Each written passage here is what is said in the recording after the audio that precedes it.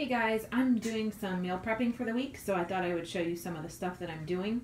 Um, I had some vegetables that, um, like this asparagus and the mushrooms and the carrots that were, um, they were going to see better days. So I was like, you know what? Why don't I just throw a bunch of stuff in my crock pot and have like a random mix of vegetable soup. I had also had some leftover black beans and some corn whoop, corn from um, a dish that I had made earlier uh, over the weekend.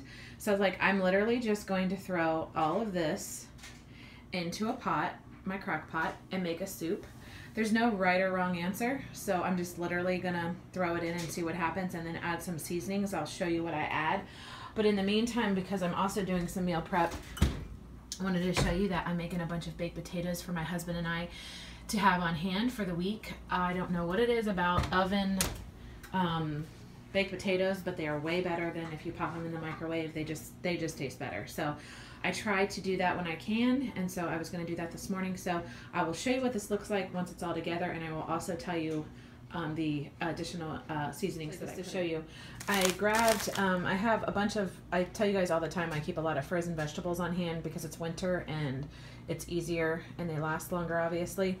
So I have this um, mixed vegetables, which is just green beans, corn, carrots, peas. Um, yeah, that's it in there.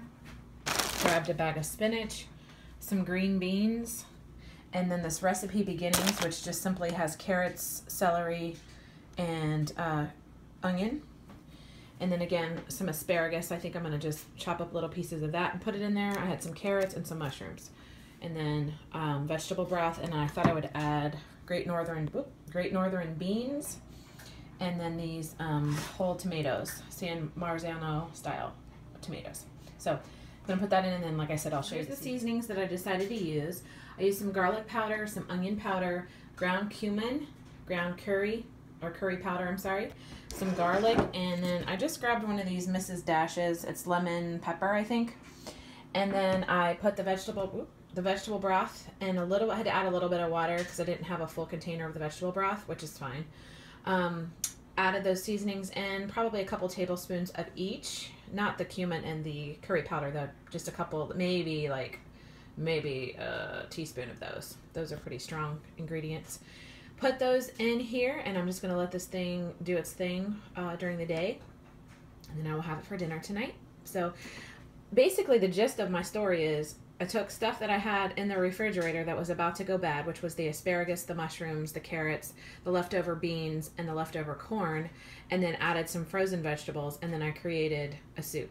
There's no like fancy recipe. It's just literally leftovers. I cannot stand to waste food. We spend way too much money on on food to just throw it away. And when I have to throw things away, it makes me crazy. I'm sure you guys are the same way.